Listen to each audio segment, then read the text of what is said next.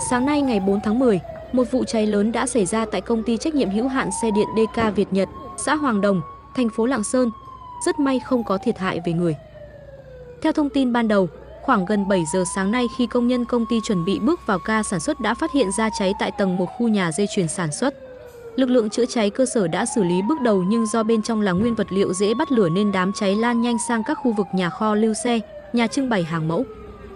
Nhận được tin báo cháy, Phòng Cảnh sát phòng cháy chữa cháy và cứu nạn cứu hộ, Công an tỉnh Lạng Sơn đã huy động nhiều phương tiện chữa cháy và cán bộ chiến sĩ phối hợp với lực lượng chữa cháy cơ sở cùng các đơn vị đến hiện trường dập lửa.